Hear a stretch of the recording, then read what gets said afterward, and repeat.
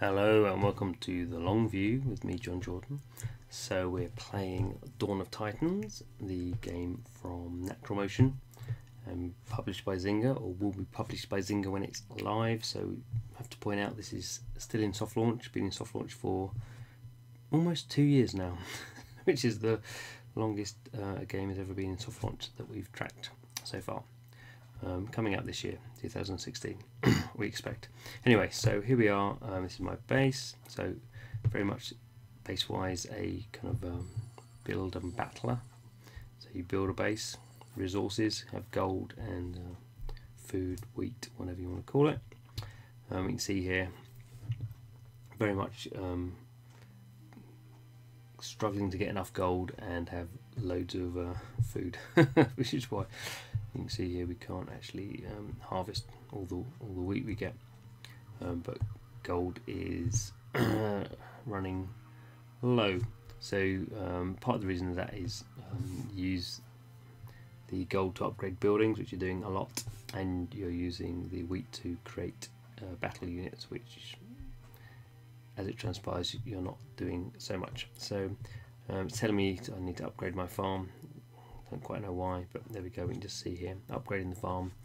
So we can see the requirements to be able to do that. I meet them, so off we go.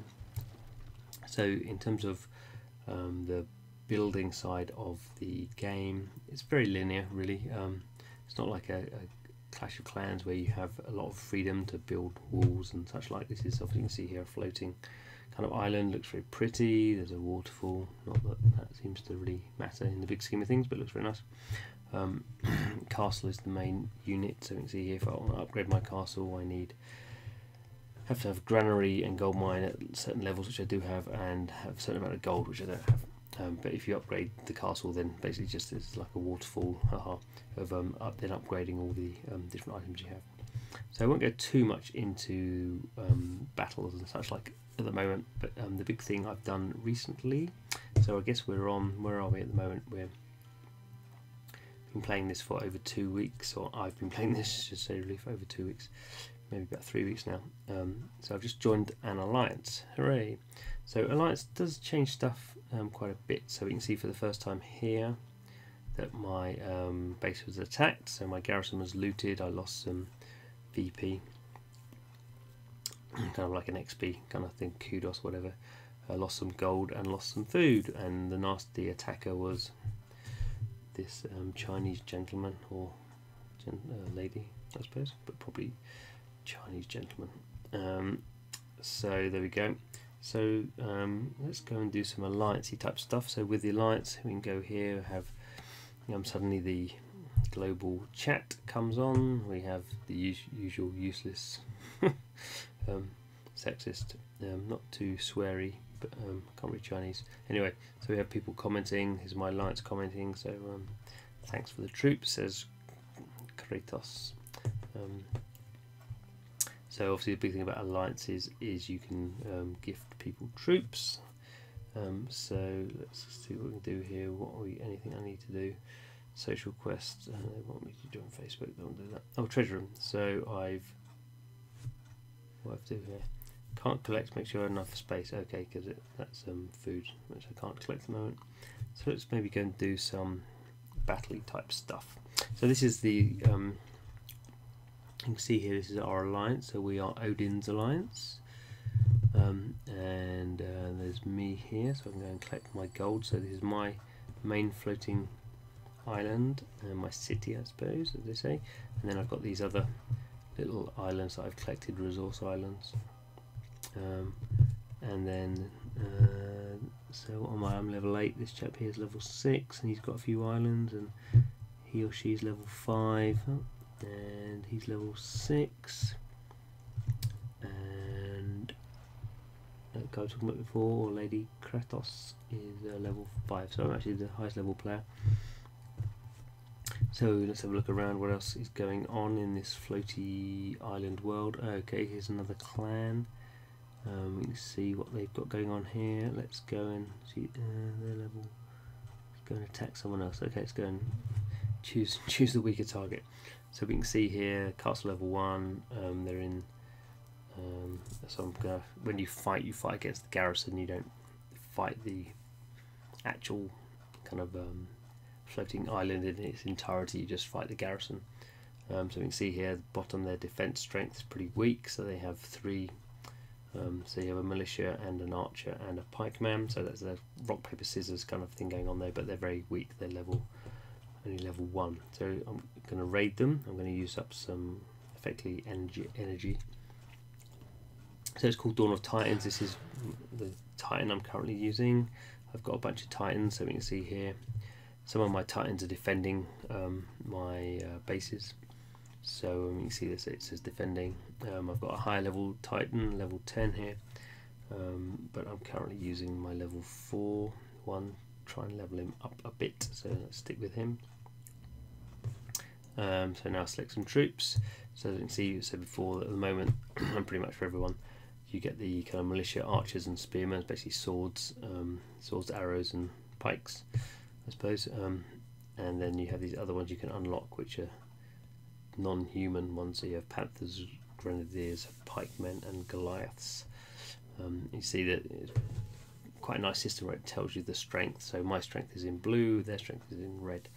Um, so I'm just going to pretty much choose my standard loadout, which is two archers, a militia, and a spear. So you can see I can't lose this really. Um, so there we go. There's spells. There's no spells at the moment. Um, it's kind of a part of the game we've not got very far into. But you can sometimes you get gifted spells, and sometimes you can. Um, I assume there's some sort of building you better create spells. It doesn't happen at the moment. Reinforcements that kind of comes from um, your your alliance or guild you can uh, request reinforcements, um, but it's kind of limited, so I can't get any of those relics. So relics are something you can a big part of the game actually. So so any build so buildings can have um, relics. Effectively, they're kind of buffs, and the titans can have them. So you can see there's quite a lot of different ones here. I could, um, I mean, they're quite minor in a sense a ten percent archer resist against physical attack. I mean, it's, it's like um, so. What have I actually got attached? I've got eight percent spearman. I mean, it's ridiculous. Um, let's choose something better than that. Um, no idea what militia critical means. Let's choose that one. Okay, so replacing that one. So we've got a new relic there. You can see I've only got one of those slots is open at the moment. Anyway, it's going to battle. So we'll see the lineup. So we can see here, these are my guys. There's my Titan. I've got um, a militia, a kind of spear unit, and two archers. I can just do an auto attack. So you can see here, the AI basically just chooses. Basically, everyone's going to attack that that single unit. Um, so off we go. So we can see the kind of is I mean, it's, it's not a full 3D camera, but you can see you can kind of zoom in. It's pretty nice. You can see the uh, Titan is good. Oh, you can see here though, the, my, the, the enemy militia who love to destroy um, archers, they flanked around and chomping them up, so I'm losing, but you can see I'm going to win overall. Um, my looks like my uh, is he going to make it time? No, didn't. So my Titan was was going to come a rescue situation, but uh, we already won. So there we go, victory um, as expected in terms of the different power of the uh, defenders versus attackers. So I get some XP, some VP, some gold, and some food, and my steel blade uh, Titan levels up a tiny bit. So this is a kind of system where um, if you if your units are um, not too much um, destroyed in the attack. So you can see my archers and my spearmen were basically didn't take any damage at all. My militia, um, 71% damage, and one group of archers were entirely destroyed.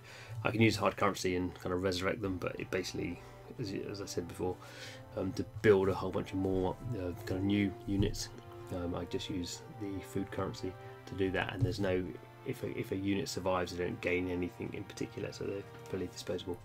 So um, it's kind of a weird part of the game where it doesn't really matter at all. So I'm going to ignore all that. And you can see here it says that I looted that um, level, that, that um, flying island, and now it has a shield on it. So um, I can't go and do that again.